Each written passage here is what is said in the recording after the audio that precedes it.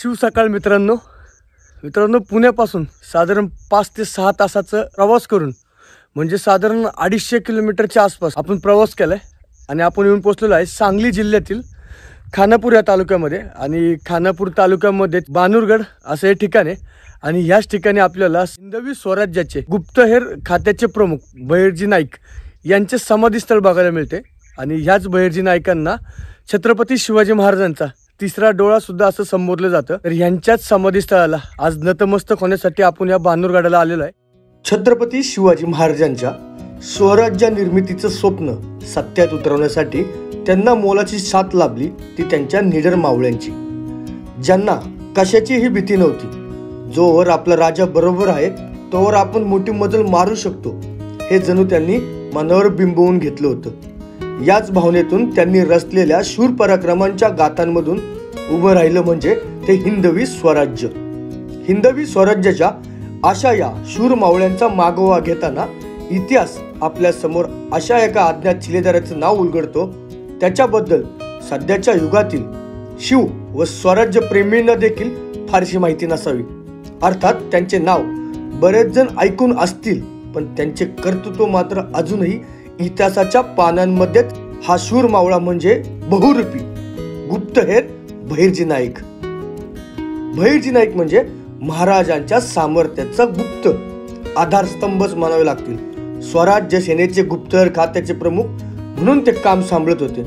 या गुप्तहेर खात्याच्या सहाय्याशिवाय शत्रू प्रदेशामध्ये मोहिमा आखणे जवळजवळ अशक्यच होते. कारण शत्रू गोट्यातील हालचाली तेथील प्रदेशांमधील महत्वाची ठाणी महत्त्वाच्या व्यक्तींची कमकुवत स्थाने आणि युद्धप्रसंगी रामबाण इलाज ठरेल अशी गुप्त गोष्ट शोधून काढण्याचे महत्त्वपूर्ण काम हे भैरजी नाईक करत होते.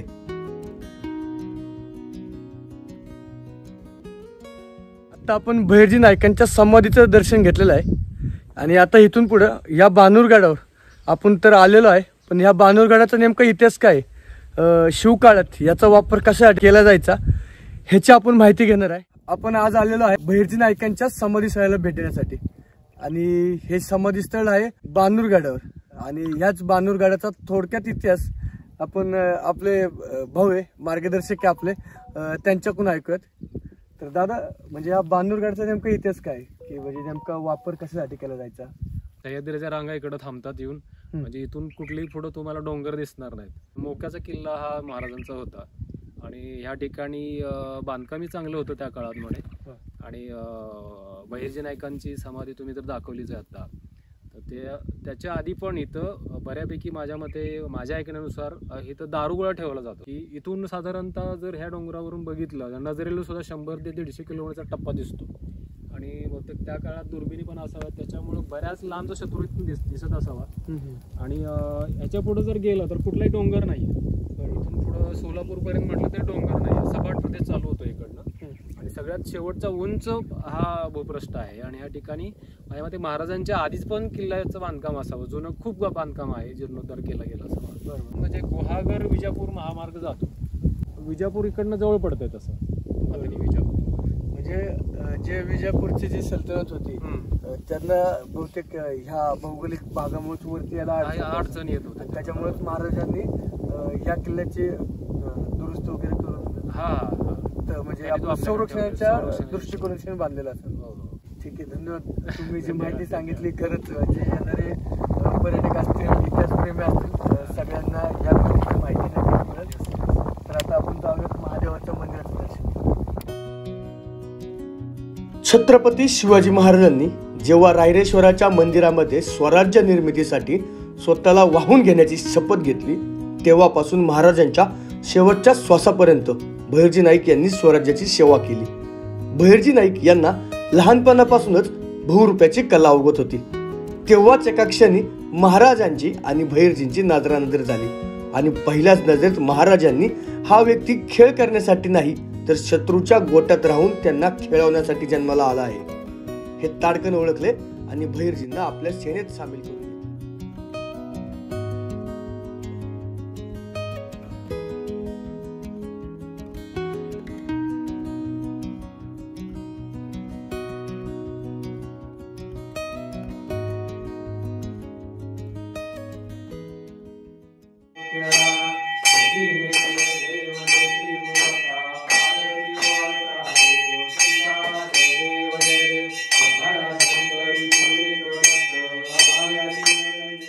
मित्रांनो आपण आता बहिर्जी नायकांच्या समाधीचं दर्शन घेतलं. त्याचबरोबर मागं असणाऱ्या ऐतिहासिक शिवमंदिराचं सुद्धा दर्शन घेतलं.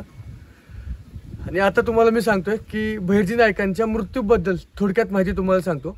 बहिर्जी नायकांचा मृत्यू नेमका कसा झाला? याच्याबद्दल असं ठोस क- पुरावा नाही किंवा ठोस असं कारण नाही. पण या ठिकाणी आपल्याला चार पाच आख्यायिका त्यांच्याबद्दल त्यांच्या मृत्यूबद्दल ऐकायला मिळतात. पहिली गोष्ट अशी आहे की भानूर गडावच हेरगिरी करत असताना बहिर्जी नाईक हे गनिमींच्या तावडीत सापडले आणि त्याच्यामध्ये त्यांचा मृत्यू झाला असं सांगितलं जातं. तर दुसरं कारण असं सांगितलं जातं की दूरवर कुठेतरी गनिमांनी त्यांना पकडलं त्यांच्यावर तलवारीचे घाव पडले.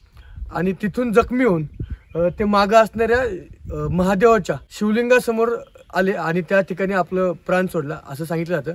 अजून तिसरी पण गोष्ट त्यांच्याबद्दल सांगितली जाते की ह्याच ठिकाणी ते लपून बसले होते आणि जेव्हा गनिमांची शोध मोहीम चालू होती तेव्हा भाल्याचा एक वार त्यांना खोलवर लागला आणि त्याच्यामध्ये त्यांचा मृत्यू झाला असं सांगितलं जातं. तर अशा चार पाच आख्यायिका त्यांच्या मृत्यूबद्दल आपल्याला ऐकायला मिळतात. ते काही असू दे पण ह्या बहिर्जी नायकांचं स्वराज्यामधील योगदान हे खूप मोठं आहे.